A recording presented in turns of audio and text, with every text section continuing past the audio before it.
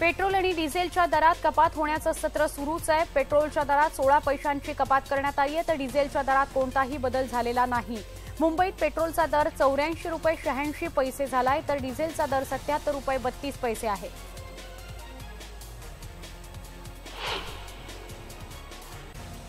आता बातमी आहे सर्वसामान्य मुंबईकरांना परवडणाऱ्या घरांची. गेली वर्षभर मुंबईकर ज्याची आतुरतेनं वाट पाहत होते त्या माडाच्या घरांची जाहिरात पाच नोव्हेंबरला प्रसिद्ध होणार आहे. मुंबईकरांसाठी हे दिवाळी गिफ्ट ठरणार आहे.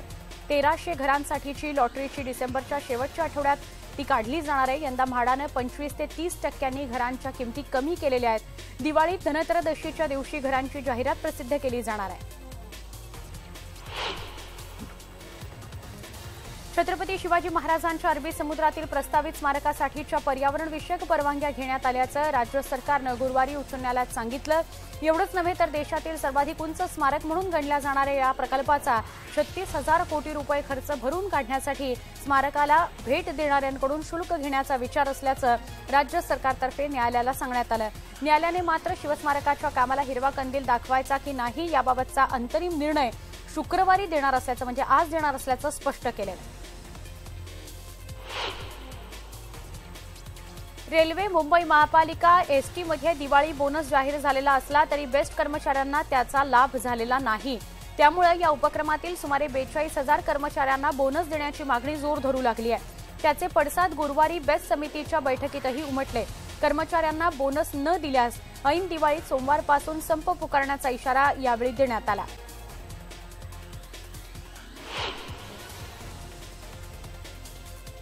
गौरवशाली इतिहास असणाऱ्या आयएनएस विराट युद्धनौकेचं वस्तुसंग्रहालयात रूपांतर करण्याच्या प्रस्तावाला राज्य मंत्रिमंडळाच्या बैठकीत गुरुवारी मान्यता देण्यात आली आहे. आठशे बावन्न कोटी रुपये खर्चाचा हा प्रकल्प सार्वजनिक खासगी भागीदारी तत्वावर राबवण्यात येणार आहे.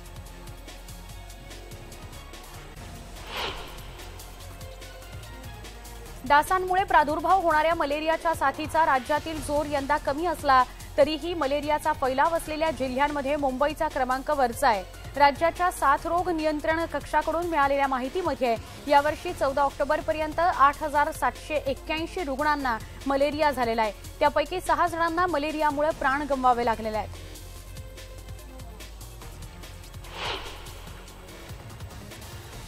गंगापूर धरणातून जायकवाडीमध्ये सुरू करण्यात आलेल्या पाण्याचा विसर्ग थांबवण्याचे आदेश प्रशासनानं दिले आहेत. भविष्यातील पाण्याची तूट लक्षात घेता हा निर्णय घेण्यात आलाय. गंगापूर धरणातून जायकवाडीला सहाशे दशलक्ष घनफूट पाणी सोडण्यात येणार होतं. दरम्यान फेरनियोजन आढावा घेतल्यानंतर पुढील निर्णय घेतला जाईल असं जिल्हा प्रशासनानं स्पष्ट केलं.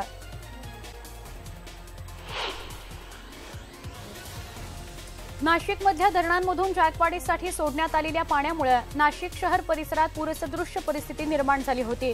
नदीपात्रालगतच्या परिसरातील रस्त्यांवरची वाहनं पाण्याखाली गेली होती.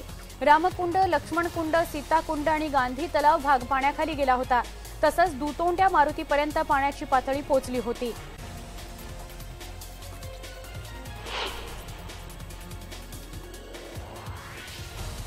राज्यातील एकशे एक्कावन्न तालुक्यांसोबतच मुख्यमंत्र्यांनी आणखी दोनशे पन्नास महसुली मंडळांमध्ये दुष्काळ जाहीर केलाय. याशिवाय निकषामध्ये बसणाऱ्या आणखीनही काही तालुक्यांमध्ये दुष्काळ जाहीर करण्याचं आश्वासन मुख्यमंत्र्यांनी दिलंय. त्यासाठी सरकारनं एक दुष्काळ समिती सुद्धा स्थापन केली आहे.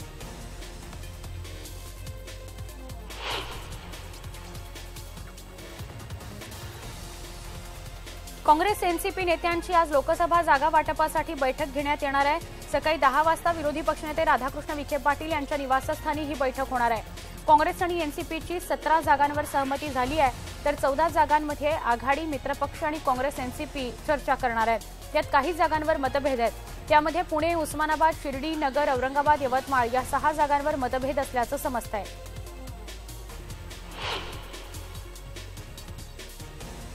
यंदाचं हिवाळी अधिवेशन पहिल्यांदाच मुंबईमध्ये होत आहे दरवर्षी ते नागपुरात होत असतं. एकोणीस ते तीस नोव्हेंबर दरम्यान अवघे नऊ दिवसच हे अधिवेशन मुंबईत चालणार आहे. मात्र अधिवेशनाचा कालावधी कमी असल्यानं विरोधकांनी याला आक्षेप घेतलाय. पुणे दौऱ्यावर असताना मुख्यमंत्र्यांनी काही क्षण क्रिकेटचा आनंद घेतला. दोन चेंडू हुकले मात्र तिसऱ्या चेंडूवर त्यांनी चांगलीच फटकेबाजी केली.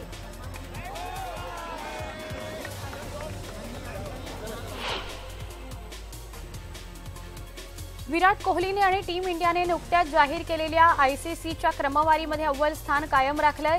कसोटी मालिकेत आठव्या स्थानावरील विंडीजला दोन शून्यनं पराभूत केलं आहे. त्यामुळे भारताचे एकशे सोळा तर दुसऱ्या स्थानावरील दक्षिण आफ्रिकेचे एकशे सहा गुण झालेले आहेत.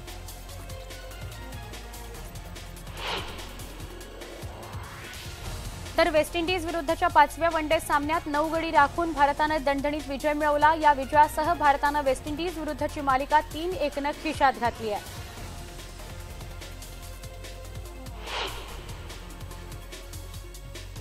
तेंडुलकर मिडलसेक्स ग्लोबल अकॅडमीच्या पहिल्या ट्रेनिंग कॅम्पचं नवी मुंबईतल्या डीवाय पाटील स्टेडियमवर आयोजन करण्यात आलं चार दिवस सुरू राहणाऱ्या या ट्रेनिंग कॅम्पमध्ये मास्टर ब्लास्टर सचिन तेंडुलकर स्वतः क्रिकेटचे धडे देतोय. क्रिकेटमध्ये करिअर घडवू इच्छिणाऱ्यांना आंतरराष्ट्रीय व्यासपीठ उपलब्ध करून देण्यासाठी तेंडुलकर मिडलसेक्स ग्लोबल अकॅडमीची स्थापना करण्यात आली आहे.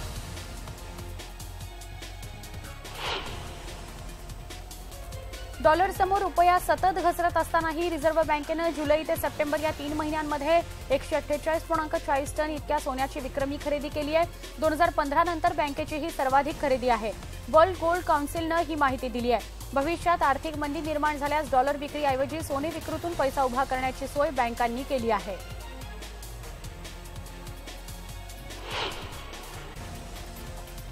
पुण्यातल्या खेडमध्ये कनेरसर या गावात अरविंद जाधव या शेतकऱ्याच्या गोठ्यात फक्त दोन फुटांची गाय आहे. या बुटक्या गायीला पाहायला गर्दी होती आहे अंबू असं तिचं नाव आहे. देवी अंबाबाईच्या नावावरून हे नाव तिला देण्यात आलेलं आहे.